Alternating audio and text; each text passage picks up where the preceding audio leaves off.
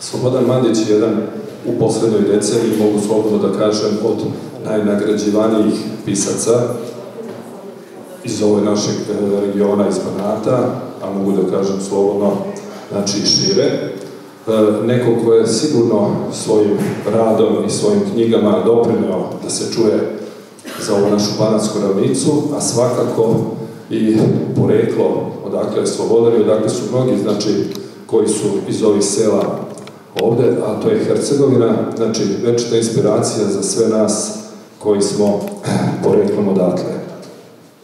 Večerašnje knjiženo veče počet ćemo sa odlomkom iz knjige Slobodana Mandića Regina Panonija, koja će nam pročitati Zorka Prstojević, učenica osnovne škole Đura Jakšić, osmog razreda. Zorka, izvoli.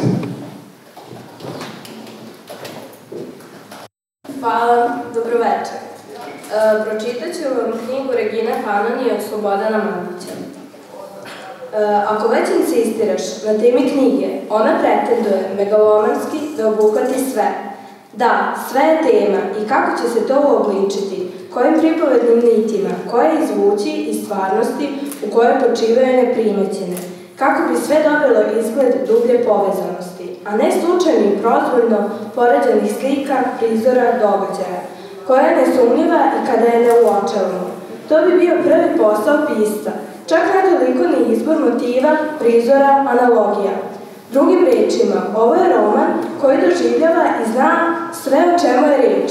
Svest romana, jedna vibrirajuća, osetljiva, narativna svest koja postoji, a pisac je samo iskazuje, kako bi bila i drugima vidljiva. Tako reći, jedna knjiga života, to jest kako ga obličiti, uhvatiti to sve, samo to, o svema drugčije, o sebi, to je mesto gde je sve, Zato tema i nadalje ostaje i onaj neko ko skriven i nevidljiv deluje. Izgleda da taj svet o kome je reč, za koji prepovedač nalazi da nije prestao da postoji ni kada je prošao. Zapravo u istinu ne postoji dok ga sada još jednom ne potvrdimo i učinimo postojećim, pričom, pripovešću, romanom. Pri, tom, e, pri tome teče i odvija se oživotvorenje svih trenutaka koje sećanje vraća u život i slika se stvarna atmosfera dana, voza, putovanja, odrastanja, listovih majskih jutara, zimskih svečanosti. Kao da pisanje i roman nastoje da na svoj način potvrde trajnost života i njegove neistrapne potencijale. Hvala. Hvala Zorka. Evo sada ja ću, osim znači, našeg gosta Slobodana Mandića, predstaviti i književnika iz Medelina Zorana Slavića, znači neko koga književnost poznaje i njego, koga poznaju znači ljudi koji se bave književnosti i koji čitaju knjige. E, Zoran Slavić će se pridružiti na ovoj večeri sa svojim observacijama o delu Slobodana Mandića, a ja bih ga pozvao takođe i da svoje lična ubeđenja i uverenja kada se, koje se tiču književnosti, e, da porazgovaramo o njima i da na neki način absolviramo ih. E, prvo pitanja, ili tako, tako i zamišljena koncept ove književne večere i ove tribine, je šta to pisca nagoni da piše knjige?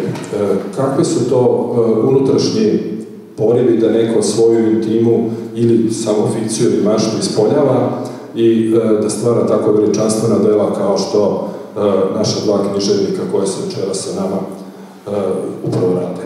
Evo, to je pitanje, znači, prvo za Slobodana, naravno, posle i. Dobro večer i sa moje strane, pozdravljam sve prisutne koji su odabrali da dođu na književnu večer umjesto da izaberu neki drugi sadržaj. Što se tiče ovog pitanja, to je jedno od starih, da ne kažem i večnih pitanja koje se postavljaju pred pisca, a i sami pisci ga postavljaju sebi.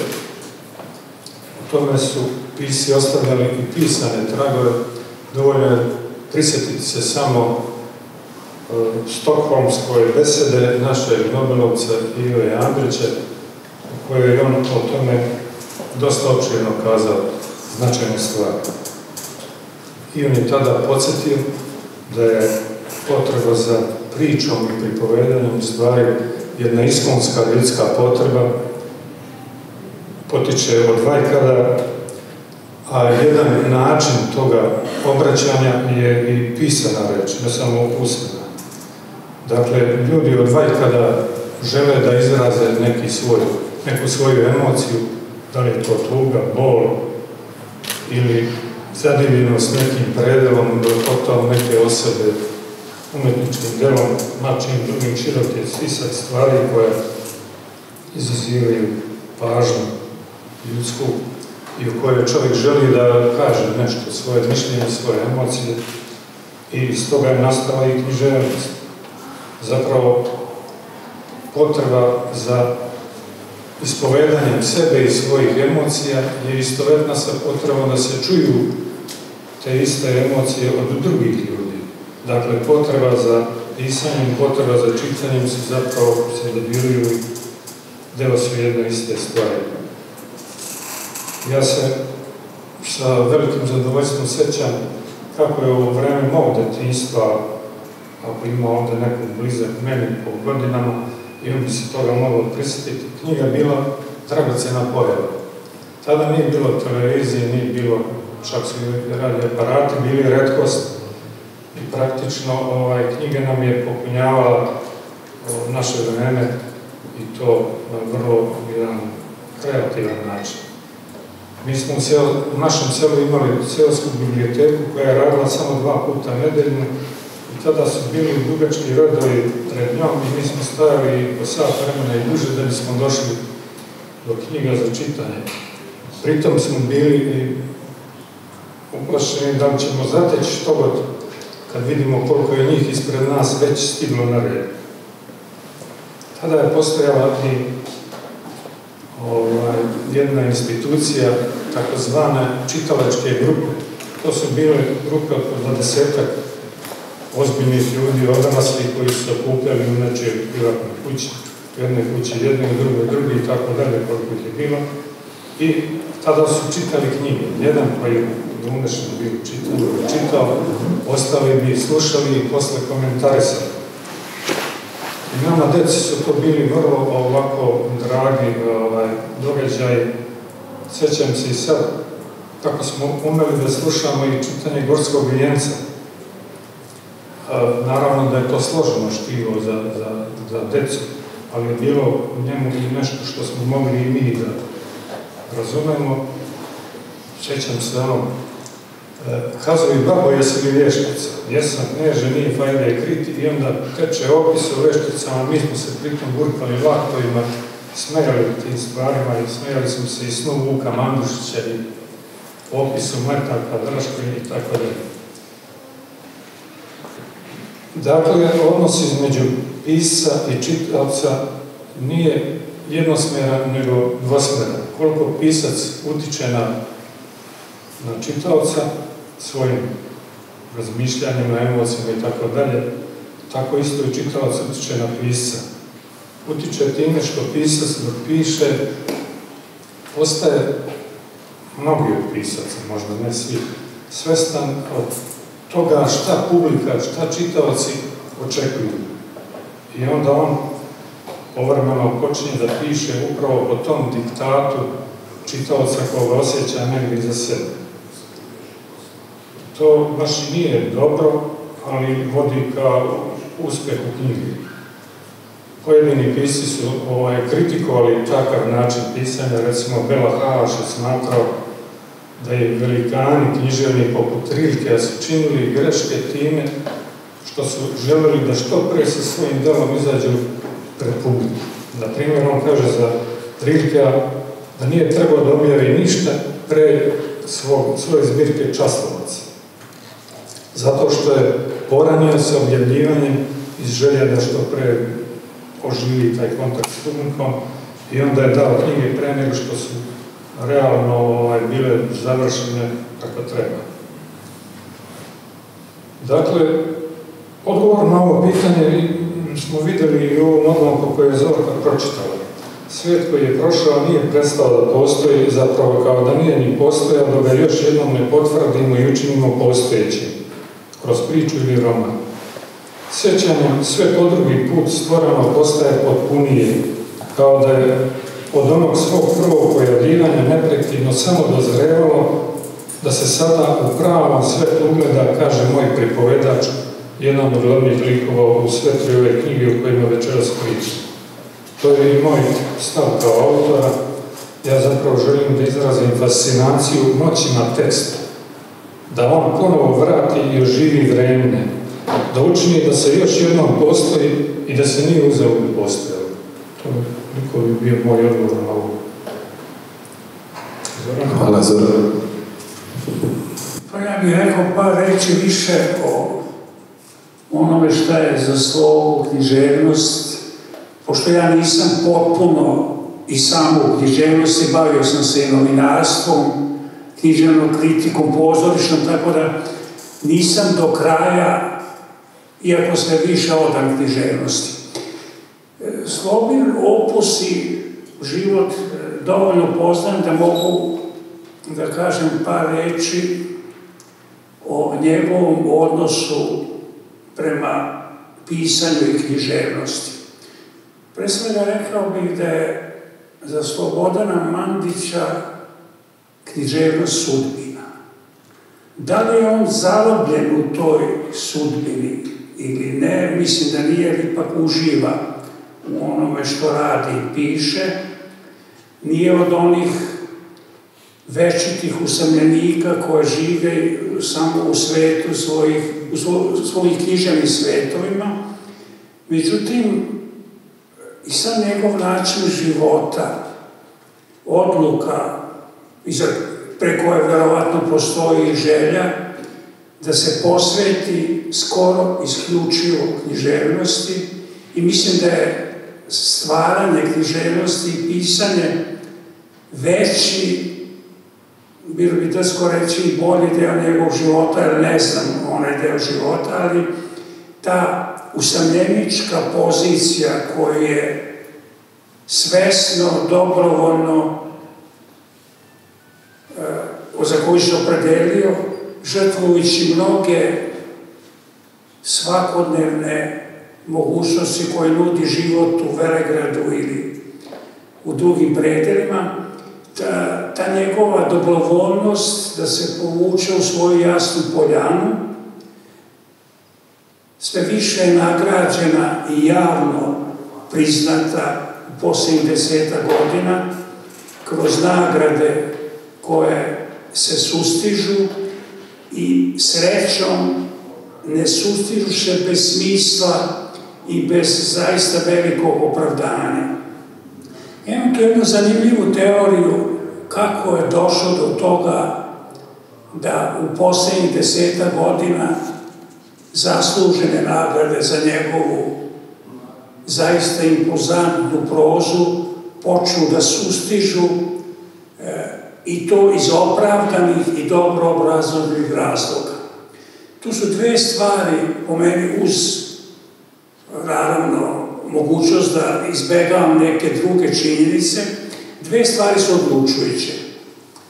Mandićeva proza koja je u tim ranim godinama ličila malo usamljenički na njega, ta stanica u Nigdini u Žitu u Ravnici, e, jednim logičkim, postepenim i potpuno dokazivim proznim razvojem e, iz jednog dela banata, iz jednog entiteta, iz jednog okruženja e, etničkog, jezičkog, religijskog, kulturološkog, koji, koji mnogi tadašnji kritičari pre 20-25 godina nisu razumevali ili nisu imali strpljenja da obrate pažnju na specifičnost tog lokaliteta koji je kosmos u malom, u malom uz jednu dosta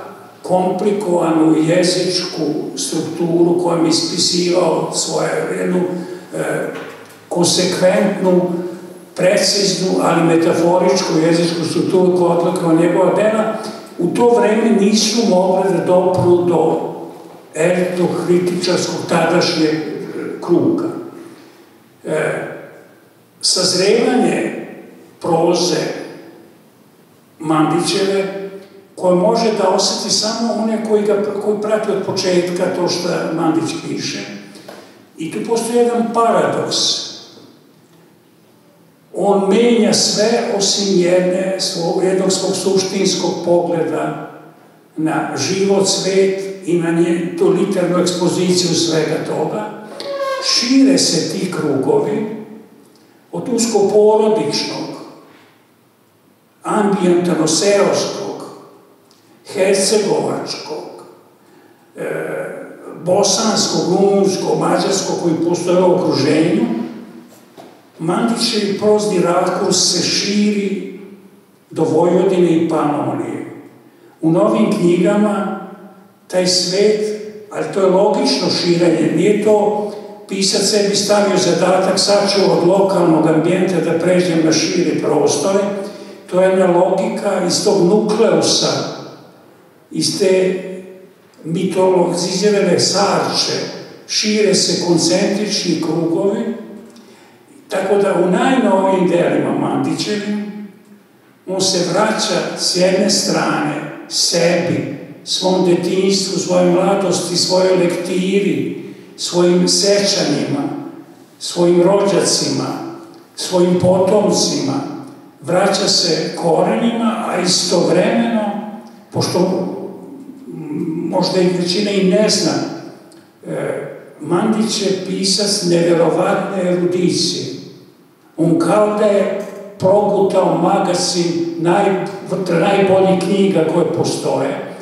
I s druge strane, on to vrlo nenametljivo e, forsira u svojim prozama, tako da ne doživljamo to kao nadobudnost autora koja se pravi pred nama pametan, nego kao logičan sled razmišljanja jednog vrhunskog intelektualca za koga je, opet i to je zanimljivo, i to je odlika epskih vremena, priča je sve. Priča je večnost i priča će i krakotrajnost ljudskog života prevladati. Tako da mi pred sobom imamo sad jednog pisa koji u najnovijoj knjizi koja je dobila Čopićevu nagradu Regina Panonija stiže do nivoa počeo, počeo sa regionalnim temama, ali i tada zreo i dobar pisac da bi sada e, napisao knjigu bez obzira šta mi pojedinačno mislili, koja ima zaista evropske domete i evropske konsekvence. Evo, toliko da ne dužim. Odlično za vreme, hvala vam puno. E, ja bih zamolio Zorku da nam pročita još jedan odlomak iz Mandićeve knjige, pa ćemo nastaviti dalje.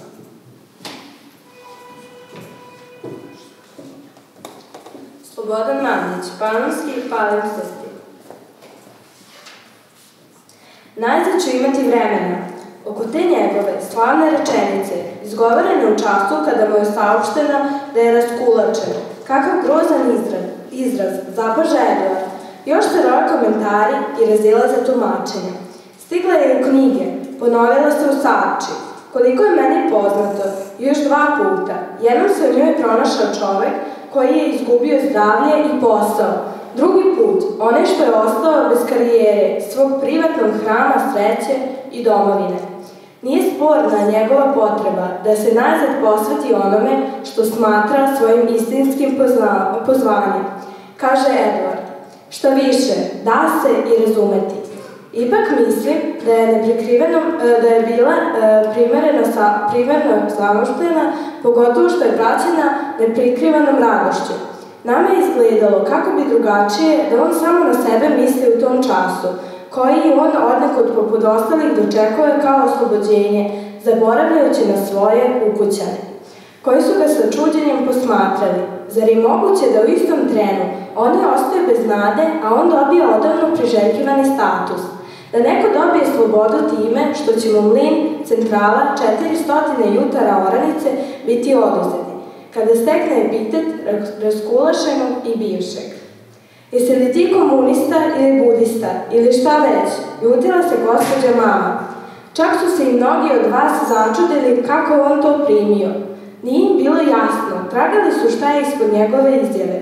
To je teško ruganje. Zašto pominje Boga? Šta ćemo vreme? Kakav je to dobitak?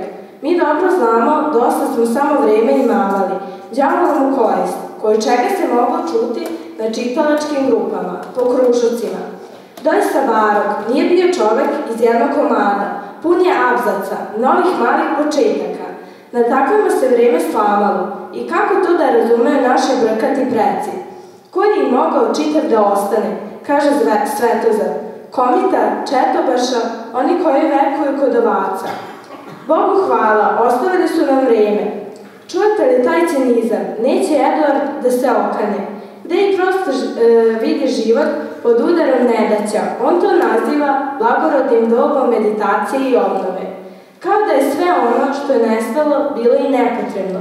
Sve što je radio, tek zabluda tihog čoveka koji je zalutao. Razmere tog gesta, sva njegova uplitanja u život porodice Barok i iz njega proistekle deprimirajuće izvedenice. Vi ne možete ni da naslutite. Vremenom sam uviđao da bi gospođa mama više volela da je taj njegov stav samo poza kojom on želi da zamaskira i sakrije poraz. Nastojala da se stvori takav utisak, da se stvar takvom prikaže. Poznavao sam tu priču i sam sam bio predmet iste. Gospođa me podsjećala na mog oca, dok je usmeravao kazivanje o mom bekstvu od kuće. Dok da slušam, pomišljam kako odnos prema priči linija po kojoj se delimo. Bila je spremnija da izrazi samilost prema poraženom suprugu, nego da pokaže razumevanje za njegovu sreću u turovnim danima. A možda da ona zapravo jedina do kraja prozrela, stiže Edward do epiloga na kome je smerao. Ali već sam znao da mu njihova reč ništa ne može. Istinski život džaba pankaju, isto kao što bi ga uzalod i prečutkivali. Hvala. Ovo, ovaj, ovaj odlomak bi otprilike bio i neki uvod za sledeće pitanje. E, čitajući vaše tri poslednje knjige, ja stičem utisaka, verujem i čitaoci, kao da se te priče, priče pripovedača koji pripoveda e, prepliću i na neki način da ih možemo vidjeti da istu priču možemo sagledati iz različitih uglova, da, da je to jednostavno neispričana priča i kao da imate još mnogo toga da kažete da jednostavno priča i dalje traje i da možemo očekivati možda još nešto na konto svih ovih priča koje smo pročitali u, vašim, u vaše tri poslednje knjige.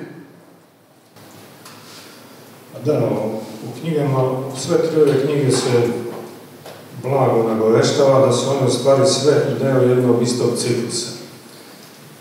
Ja sam kao pisac se opredelio za taj način da ih povežem i tako, zato što je to zahtevala tema. Tematski okvir za sve tri ove knjige pojam zrenja. I Zoran je malo koji u svom obraćanju pomenuo zrenje, inače hvala Zoranu na lepim rečima. Zrenje dakle, centralni pojam oko koga se kreće naracija o sva tri ova romana. A zrenje je zapravo jedan dugotrajan proces koji je lagan, koji se lako ne vidi, čak i čovjek ne može ni na sebi baš dovoljno da, da, da ga primeti, odjednom se jednostavno obrete u nekoj novoj tačci svog života i čudi se šta se dogodilo ne vidi taj, ne može niko da odredi tačno tačku u kojoj počinje nova faza zrenja.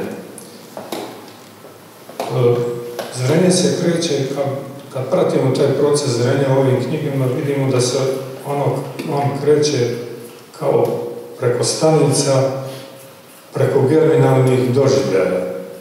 Germinalni doživljaj pak, to je veliki doživljaj koji potresa čoveka čitavo njegovo biće potresa, on postaje odjednom budniji za ono što pre nije ni osjećao. Zapravo stupa na novi stepenik svoje zrelosti. Na primer, e, germinalni doživljaj za pripovedača, koji je jedan od glavnih likova u svete knjige, jeste e, bekstvo od kuće. Kada je kao dečak sa svojim drugom krenuo u svet Oni su bili osnovci, imali su možda po 12 godina kada su krenuli. Oni su se pripremali za taj svoj poduhvat. Nisu htjeli da uđu u voz na stanici u Sutjeci u svom selu, a cilj je bio da stignu do Beograda, a bi odatle počinjao njihov put u svet. Nisu htjeli u Sutjeci zato da bi zametnuli trag onima koji će ih tražiti, pa su tako pešačili do nekoliko sljedećih stanica i onda su se našli negdje u Lukićevu. Dakle, prešli su neki preko 20, možda i 30 km. Krenuli su u podne, u Smiraj dana su se zatekli na nepoznatoj stanici, ušli unutra, kucnuli na prozorče, pojavio se železničar, šta hoćete? Dve karte za Beograd. Nije ono bilo kao tri karte za Hollywood, nego dve. Mada je Hollywood i njima bio cilj. Ovaj im je samo rekao, nema voza do sutra, ujutru dođite sutra. Oni su bili poraženi, to bio pravi šok. Odjednom se njihov san, koji su negovali već par godina, razbio u surovu stvarnost. Nisu znali šta da rade sad. I morali su da okrenu nazad, istim putem koji su došli. Dok su odlazili od kuće u svijet, oni su bili veoma bodri, hrabri, puni elana, elana, energije, sad odjednom umorni, slomljeni, stiže ih i glad i besmisao svega u čemu su se našli. A najgore od svega im je bilo što idu u ruke ocu koji će ih podvrgnuti teškom ispitivanju. I kad su došli, da to skratimo ovu priču, ovaj, podvrgnuti jesu, otac se poneo i kao islednik, ali i kao cenzor. On je tu priču koju lansira njegov sin, budući pripovedač ovih romana, e, pritiskao sa svih strana tražeći slabu tačku, tražeći nešto da uhvati kao laž. Ništa od toga nije uspeo, dečak je odbranio svoju priču i posle će shvatiti da je zapravo tada postao pripovedač.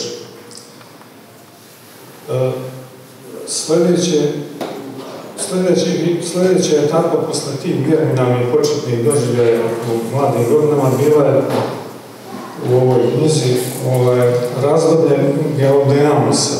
To je u stvari sjećanje na gimnazijske dane u Zrenjaninu i na iskušenja tog uzrasta.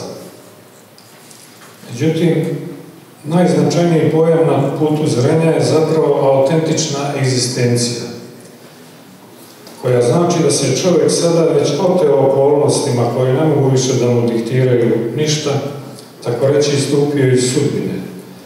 Najjasnije se ovaj pojam može uočiti na primjeru e, pomenutog gospodina Baroka koji je ovdje sad iz Orka pomenulo u ovom odlomu. Naime, gospodin Barok, taj veleposjednik iz Sarče, u jednom momentu posle rata, kada je krenula velika reforma, ostaje bez svog velikog posjeda. On koji je imao električnu centralu, mlin, stakleni, stotine hektara manatske ranice, odjednom ostaje bez svega toga. Istog dana, kad je to saznao, on dolazi kući, izgovara jednu čudesnu rečenicu kaže, hvala Bogu, najzad ću imati vremena. Time je izazvao šok u svojoj porodici, odio, svi bližnji su skočili na njega, ti ćeš, znači, imati neko zadovoljstvo, a mi što je s nama? Oni su to shvatili kao svoju propast, a on smatra da je nešto veliko ovaj, dosegao tog momenta. To je bilo njima nepojmljivo, a on je zapravo iskreno se poradovao svom novom statusu zato što je celog života želeo da se bavi proučavanjem istorije Banata i pisanjem knjiga o Banatu. I sada mu se najzad otvara prilika za to. Tu njegovu radost niko nije imao, ovaj, niko nije mogao da razume tog momenta. Čak i kolonisti, kad su to čuli, zapitali su šta taj čovjek priča. Da mi u svojoj prošlosti sve do sada nismo imali ničega sem vremena. Đavo u korist, tako su prokomentarisali.